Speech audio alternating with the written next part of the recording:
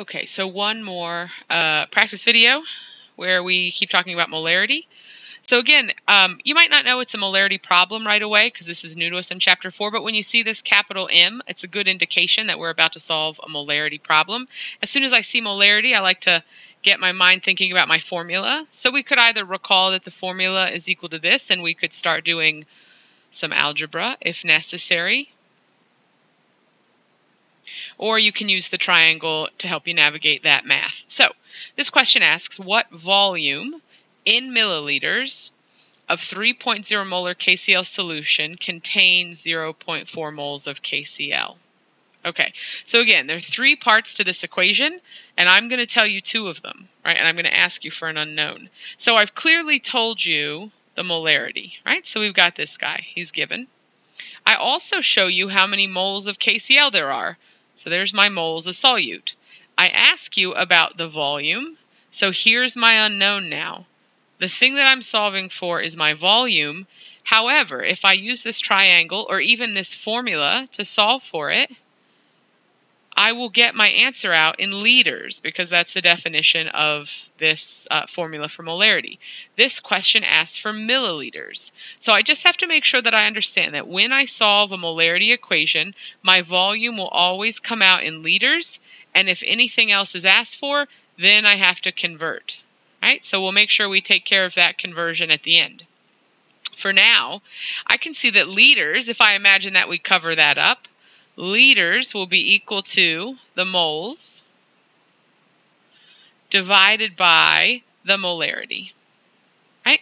So that's what happens if I block out this liters. I see it's moles divided by molarity.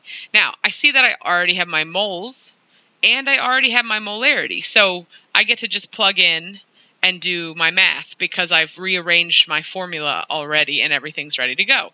So my volume in liters will be equal to 0.40 moles of solute divided by 3 capital M for molarity KCl.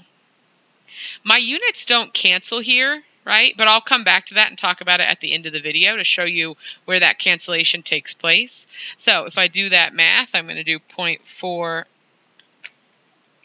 divided by 3, and I get 0.133 with a repeating 3, and that is going to be in liters. So now I just have to make sure that I meet the requirements of the question. So they've asked me to find milliliters, and I will.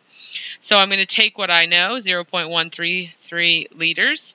Looks like I only, by the way, need two sig figs, so I'll have to truncate that in the next step, but for now I'll convert it. One liter is equal to 1,000 milliliters, and so that will give me 133 milliliters. If I only want to have two sig figs, I have to reduce this number to only two significant figures, and so I will call it 130 milliliters. So we have to pour out 130 milliliters of this solution in order to get 0.40 moles of KCl. Right? So not a hard problem, but you have to know when to use the formula. You have to know how to manipulate it, and then you need to make sure that all your units are are uh, corrected for. All right, so there's another molarity question. I'll put up one more video, one more kind of example problem, and then when you come into class on Tuesday, we'll be ready to go and we'll start dealing with molarity in the context of limiting reactant problems. It's going to be great. Get excited.